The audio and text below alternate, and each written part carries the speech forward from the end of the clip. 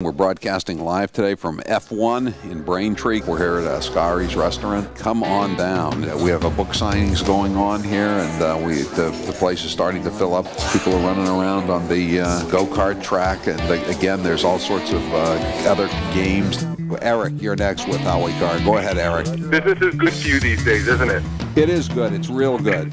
This Couldn't have been a better time book release for you. Whitey Bulger, who stole tens of millions of dollars, I think it's safe to say, tens of millions of dollars. And he was found with uh, 800, more than $800,000 in his uh, in in his apartment at the time of his arrest. He says that he too is indigent, and uh, and Bill, and apparently uh, Billy Bulger is going, who me?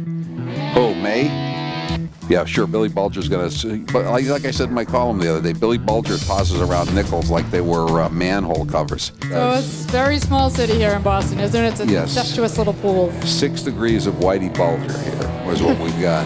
We, we actually have someone in the room who went to reform school with Whitey. Yeah, he didn't. I invited him to come up and join us. He, he, he said he didn't want to. He's a little younger than Whitey, and he said that Whitey was uh, Whitey was never uh, really uh, a, a, a fighter. He was a kind of a sneaky guy, you know, one of those uh, sucker punch type guys, and he was all his eyes were always darting around, and he was keeping an eye on things.